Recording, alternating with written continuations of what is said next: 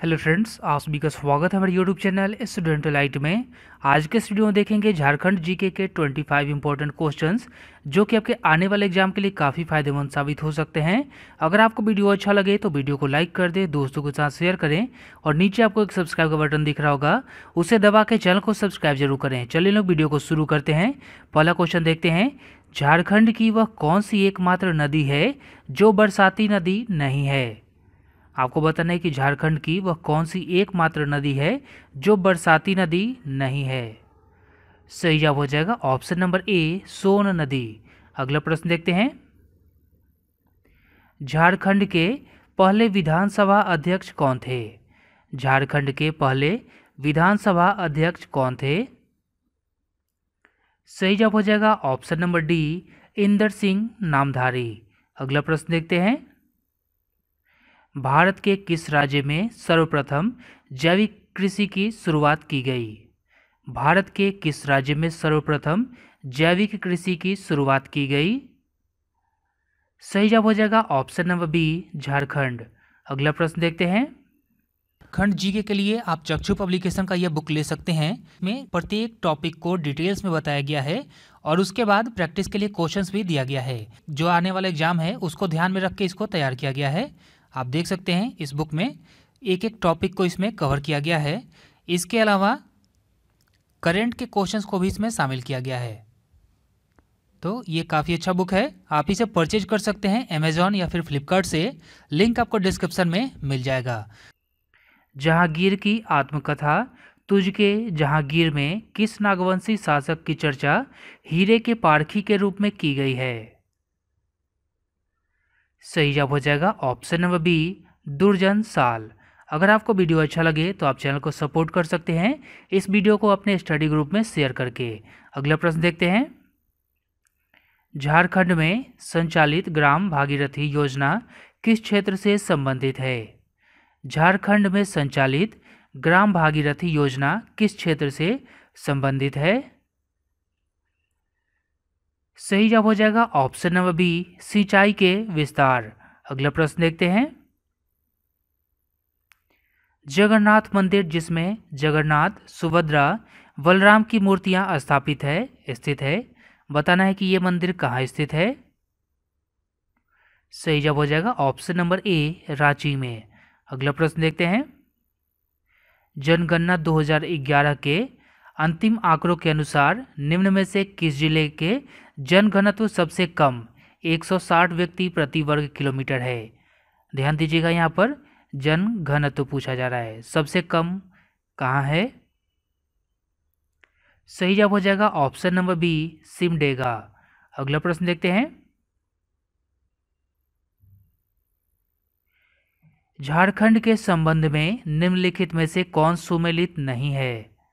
ध्यान दीजिएगा, यहाँ पूछा जा रहा है कौन सा जो है वो सुमेलित नहीं है। सही जवाब हो जाएगा ऑप्शन नंबर ए, प्रथम राज्यपाल विजय शंकर दुबे। ये जो है वो सुमेलित नहीं है। इसके अलावा प्रथम महाधिवक्ता हैं वो मंगलमय बनर्जी थे। प्रथम लोकायुक्त लक्ष्मण उरांव, प्रथम मुख्यमंत्री बाबूलाल मरांडी। ये तीनों सही है, ये जो है वो गलत है। तो ऑप्शन नंबर ए जो होगा वो सही होगा। अगला प्रश्न देखते हैं। मुंडा जनजाति के प्रमुख पर्व सरहुल को और किस नाम से जाना जाता है? मुंडा जनजाति के प्रमुख पर्व सरहुल को और किस नाम से जाना जाता है?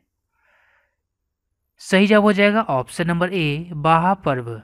अगला प्रश्न देखते हैं। प्राप्त विवरणों के अनुसार सिंहभूम क्षेत्र में सिंह वंश की कितनी शाखाओं ने शासन किया? वीडियो को पॉज करके आप इसका ऑप्शन पढ़ सकते हैं। सही जवाब हो जाएगा ऑप्शन नंबर बी, दो। अगला प्रश्न देखते हैं। जनगणना 2011 के अंतिम आंकड़ों के अनुसार न्यूनतम जनसंख्या प्रतिशत वाला जिला निम्न में से कौन है? न्यूनतम जनसंख्या प्रतिशत वाला जिला निम्न में से कौन है? सही जवाब हो जाएगा ऑप्शन नंबर ए लोहरदग्गा अगला प्रश्न देखते हैं। मैग्नोलिया पॉइंट, नामक पर्यटन स्थल निम्न में से किस ज़िले में अवस्थित है? सही जवाब हो जाएगा ऑप्शन नंबर ए, लातेहार। अगला प्रश्न देखते हैं। जनगणना 2011 के अंतिम आंकड़ों के अनुसार सर्वाधिक आदिवासी आबादी वाला जिला निम्न में से कौन है? सर्वाधिक आदिवासी आबादी वाला जिला निम्न में से कौन है? सही जवाब हो जाएगा ऑप्शन नंबर सी, रांची। अगला प्रश्न देखते हैं। जनगणना 2011 के अंतिम आंकड़ों के अनुसार सर्वाधिक शहरी जनसंख्या किस ज़िले में है? 2011 के जनसंख्या के अनुसार सर्वाधिक शहरी जनसंख्या किस ज़िले में है? सही जवाब हो जाएगा ऑप्शन नंबर सी, धनबाद। अगला प्रश्न देखते हैं। जमशेदपुर औद्योगिक नगर किन दो नदियों के संगम पर स्थित है? जमशेदपुर औद्योगिक नगर किन दो नदियों के संगम पर स्थित है? सही जवाब हो जाएगा ऑप्शन नंबर सी स्वर्ण रेखा और खरकई। अगला प्रश्न देखते हैं।